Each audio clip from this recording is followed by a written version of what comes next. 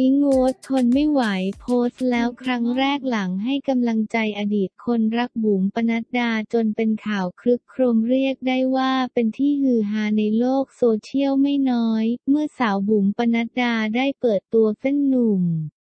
และเปิดใจถึงความรักครั้งใหม่กับหนุ่มล่ำกอตอาทิตย์อนันทวันดีกรี นักกีฬาเพาะกายและนักกีฬายิงปืนรณยุทธทีมชาติ งานนี้จึงไม่พ้นคำครหาดราม่าต่างๆ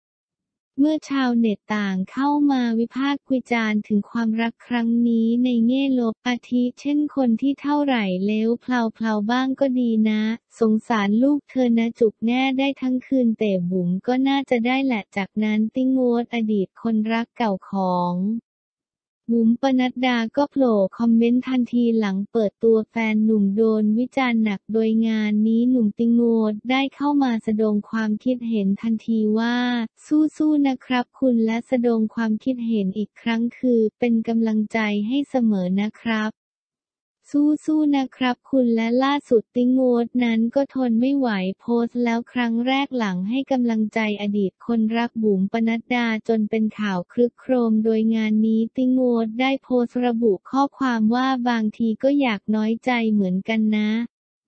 ขนาดผมแข่งรถเสียงแทบเป็นแทบตายกว่าจะได้แชมป์ประเทศไทยสี่สมัยติดต่อกันไม่ใช่เรื่องง่ายๆเลยยังไม่เห็นมีข่าวลงอะไรกันขนาดนี้เลย ก็เข้าใจนะครับว่าว่าวงการบันเทิงมีอิทธิพลมีผลกับสื่อเป็นอย่างมาก ไม่รู้จะพูดยังไงต่อ แต่ยังไงก็ขอบคุณ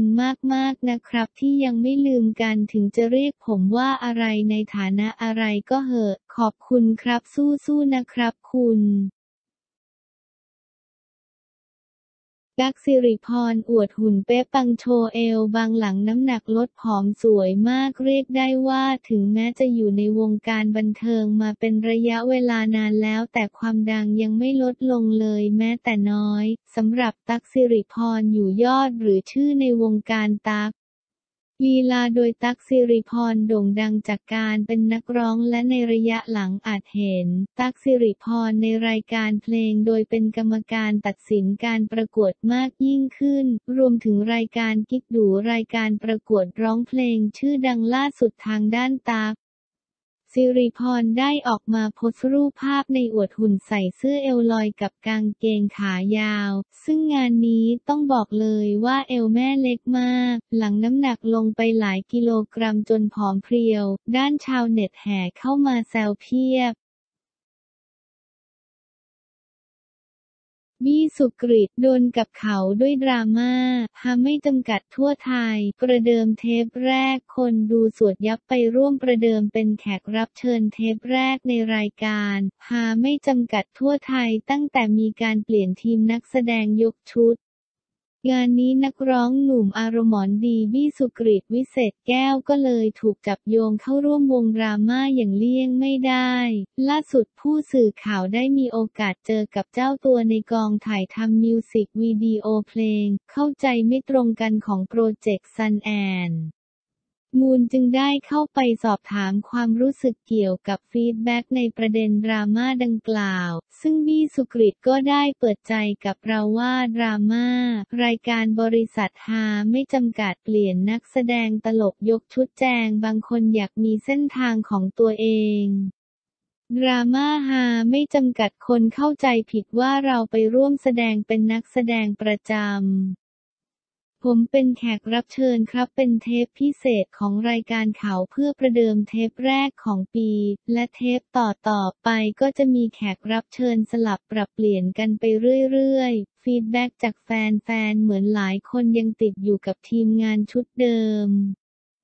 เป็นธรรมดาครับ เพราะแก๊งเดิมเขาทำไว้ดีมาก ผมเองก็ชอบแต่ว่าแก๊งใหม่ก็สนุกเหมือนกัน แค่มันคงต้องใช้เวลาอีกสักนิดหนึ่ง ยังไงก็อยากให้ทุกคนเป็นกำลังใจให้กับฮาไม่จำกัดทั่วไทยด้วยนะครับ ถ้าเขาเชิญให้เราเป็นนักแสดงประจำเราจะโอเคไหม ความสามารถผมยังไม่ถึงครับขอให้ผมค่อยๆฝึกไปก่อนดีกว่า คือมาร่วมรับเชิญอีกได้ แต่ถ้าให้เป็นประจำผมคงไม่ทันพี่ๆเขาหรอก เพราะพี่ๆแต่ละคนเขาเก่งมากเราเล่นไม่ทันเลยครับ ต้องฝึกอีกเยอะแก่บรรยากาศการทำงานวันนั้นก็สนุกดี เสียเซลไหมเปิดตัวตอนแรกก็ดราม่าซะแล้ว ไม่เลยครับ เพราะจริง ๆ ผมเองก็ชอบทีมเก่าของเขา แต่ในฐานะที่เราได้มีโอกาสไปร่วมทำตรงนั้น เราเองก็ต้องเปิดใจและในฐานะคนดูผมก็อยากให้ทุกคนเปิดใจ รวมถึงเป็นกำลังให้ทีมงานนักแสดงด้วยครับ ไม่ใช่แค่รายการนี้กับรายการอื่นๆ ที่มีการเปลี่ยนแปลงด้วยเหมือนกันครับ ยังไงก็ให้เวลาหาไม่จำกัดทั่วไทยสักระยะหนึ่ง ขอให้เปิดใจให้กันครับ แฟนๆ ชมว่ายิ่งอายุเยอะยิ่งหล่อไปทำอะไรมา ยิ่งอายุเยอะยิ่งหลอกขึ้นใครๆ ก็พูดแบบนี้ หัวเราะน่าจะเป็นผลพวงมาจากการที่ไม่รับงาน เพราะเมื่อก่อนตอนที่ผมทำงาน 8 วันต่อสัปดาห์หน้าผมมีแต่โทมลงแต่พอผมลองไม่รับงานนอนอยู่บ้านอย่างเดียว ขนาดครีมไม่ทานนะผมยังใสเลยดาราหลายๆ ท่านก็ถามผมนะทำอะไรมาหน้าใสผมก็บอกไปตรงๆเลยว่าลองไม่รับงานดูสิ หัวเราะจริงๆ มันก็คือความตั้งใจว่าอยากพักผ่อนของผมนั่นแหละ เพราะก่อนหน้านี้ผมก็ทำงานหนักมาตลอดหลายปี แต่ว่าตอนนี้กลับมาแล้วครับ กลับมาทำงานเหมือนเดิมแล้วไม่ได้ลาวงการ เงินหมดก็เลยกลับมา เหลือจนใช้ไม่หมดหรือว่ายังไง หัวเราะเปล่าหรอกตอนผมอยู่บ้านผมก็แค่กินข้าวนิดนิดหน่อยหน่อยแต่งตัวผมก็ไม่ค่อยได้แต่งไม่ได้ใช้อะไรอยู่แล้ว เพียงแต่ว่าตอนนี้ผมอยากกลับมาทำงานกลับมาทำตามคำเรียกร้องของแฟนๆ มากกว่ามีความรักหรือเปล่า ไม่มีความรักอะไรทั้งนั้นแหละมีแต่ความเมตตาให้กับทุกคน ยิ้ม โสดก็สนุกดี นุ้ยเชิญยิ้ม ไขข้อข้องใจลือปมทะเลาะเหตุเปลี่ยนกวนตลกยกชุด บริษัทฮาไม่จำกัด บอลเชิญยิ้ม ตอบกลับแล้วหลัง นุ้ยเชิญยิ้ม ลงภาพกวนรายการบริษัทฮาไม่จำกัด นุ้ยเชิญยิ้ม ลั่นผมลูกผู้ชายพอ จอบเปิดใจปมดราม่า บริษัทฮาไม่จำกัดเปลี่ยนนักแสดงยกชุด โควิดลบ 19 ทำพิษร้านเช่าชุดไปอภิสดา หันขายอาหารช่วยลูกน้องที่ขาดรายได้ เดือดร้อนกันไปทั่วหน้าจริง ๆสำหรับก่อนกลับมาแพร่ระบาดของโควิดลบ 19 ระลอกใหม่ที่ตอนนี้ส่งผลกระทบต่อปากท้องของทุกสาขาอาชีพ ไม่เว้นแม้แต่วงการบันเทิงและธุรกิจส่วนตัวของเหล่าคนดัง อย่างล่าสุดนักแสดงสาวไอซ์ อภิษฎาเครือคงคาที่เปิดร้านเช่าชุด Celeb's Closet Celeb Closet ก็ได้รับผลกระทบเต็มๆ เมื่อลูกค้าเช่าชุดออกงานน้อยลง แต่เจ้าตัวก็ไม่ทอดทิ้งพนักงาน เปลี่ยนวิกฤตเป็นโอกาสชวนคุณพ่อของตัวเองเข้าครัวปรุงเมนูขนมจีนปักษ์ใต้แท้ๆ ครัวตาต่อย ขายแบบเดลิเวอรี่ ซึ่งรายได้หลังหักค่าใช้จ่ายต่างๆ แล้วสาวไอยังยกให้กับพนักงานทั้งหมดอีกด้วย โดยไอเผยว่า ขนมจีนน้ำยาปักใต้ครัวตาต่อยเป็นฝีมือคุณพ่อไอเองครับ เพราะพ่อไอเป็นเขยคนใต้แท้ๆ ครั้งนี้พอโควิดลบ19 กลับมาระบาดอีกรอบก็ทำให้ลูกค้าเช่าชุดออกงานน้อยลง พนักงานในร้านก็ขาดรายได้ไปด้วย แต่เราก็สู้ตอนนี้คุณพ่อจะตื่นตีสี่ถึงห้ามาทำน้ำยาปักใต้รายได้จากการขายขนมจีนหลังหักค่าใช้จ่ายแล้ว